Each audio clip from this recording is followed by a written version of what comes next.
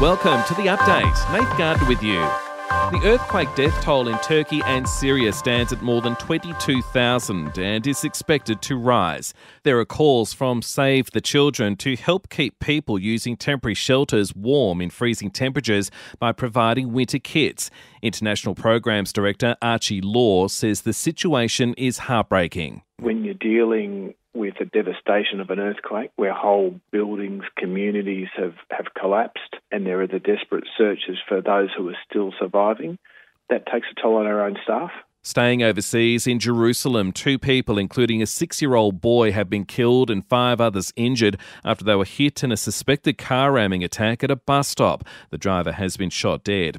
Back home, as Cyclone Gabrielle edges closer, Norfolk Island off the Queensland coast is on orange alert. It's believed the system is packing destructive wind gusts up to 140 kilometres an hour. A new report is casting doubts on the effectiveness of carbon offsets in reducing emissions. The federal government scheme allows polluters to fund environment projects instead of reducing their carbon footprint.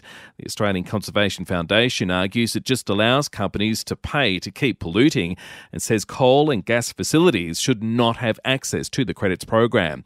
With Valentine's Day just a few days away, a Westpac data report shows romance scams have increased by 26% since 2019. The bank's head of fraud, Ben Young, says fraudsters are tricking victims into giving money to invest rather than buying gifts. If they can trick you into thinking you're investing, they can get a lot more money out of you. So they've transitioned to things we call romance baiting, and it's where it's a romantic relationship, but they actually get you to send money off to something that you think is an investment.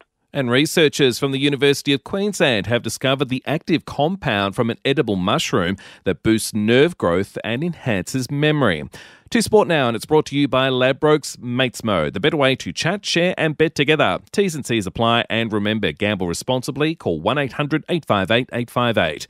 India remains in control of the first test against Australia in Nagpur, finishing day two on 7 for 321, 144 runs ahead, while a stellar debut from spinner Todd Murphy taking five wickets. In rugby union, the Wallabies will host the All Blacks at the MCG leading up to September's World Cup. New coach Eddie Jones expecting Melbourne fans to get behind the team for the July 29 match. I remember watching after the Socceroos, I think, made the last 16, sitting in, you know, the cold and damp of, of London and watching on the BBC the crowd in Melbourne going absolutely nuts. Yeah, and that's how much Melbourne love their sporting team.